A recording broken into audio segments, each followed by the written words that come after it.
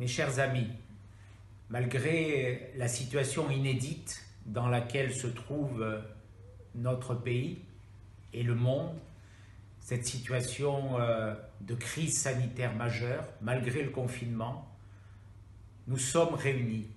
Nous sommes réunis autour des Arméniens de France. Nous sommes réunis autour euh, du peuple arménien pour cette commémoration, celle euh, de ce génocide qui a emporté plus d'un million d'Arméniens massacrés, assassinés par le gouvernement jeune turc de l'Empire ottoman. Maintenir cette célébration, maintenir cet hommage était essentiel. Merci à tous les responsables de la communauté arménienne de la Côte d'Azur d'avoir tenu à organiser cette cérémonie. Merci au Père qui tout à l'heure a, tenu euh, cette célébration. Merci aux enfants de l'école euh, Barsamian qui incarne cette génération euh, qui monte. Merci à, tous ceux historiens qui ont rappelé la tragédie des Arméniens. Alors oui, à mon tour, je veux dire combien il est essentiel de ne jamais oublier, combien il est essentiel d'exprimer ce devoir de mémoire. La France est honorée sous la présidence euh, de Jacques Chirac de reconnaître le génocide arménien. Ce fut un pas important.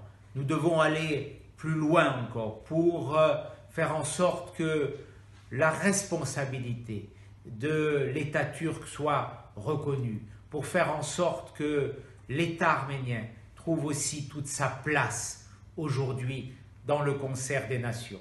Du fond du cœur, je veux dire à mes amis arméniens de Nice, de la Côte d'Azur, ma considération, mon estime, ma fidélité. Vous le savez, je partage avec vous euh, tellement de, valeurs. Nous sommes les héritiers d'une même civilisation que nous devons défendre.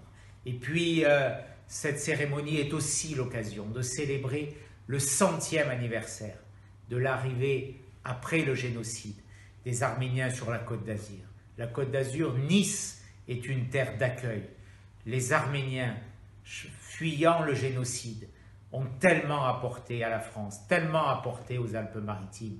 Je suis heureux aujourd'hui de leur dire ma reconnaissance, en même temps que ce soutien fidèle. Alors oui, n'oublions jamais, n'oublions jamais ce drame, n'oublions jamais euh, cette abomination.